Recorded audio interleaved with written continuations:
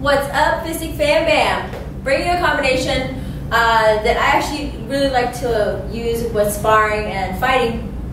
Um, this is with a step back. So I'm going to incorporate a one-two with it. I'm going to incorporate a step back and then a left hook in the right hand. So well, first of all, I'm going to throw a one-two forward. Pop, pop.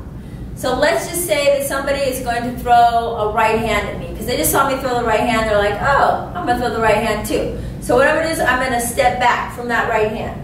Now what I'm going to do is I'm going to throw the left hook to counter that right hand.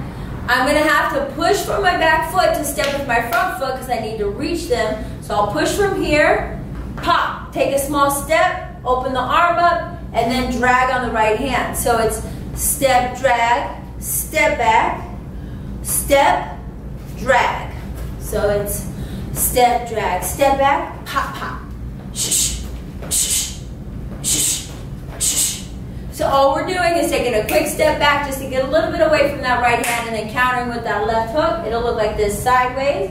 Step, drag, step back, step, drag. One, two, step back, pop, pop.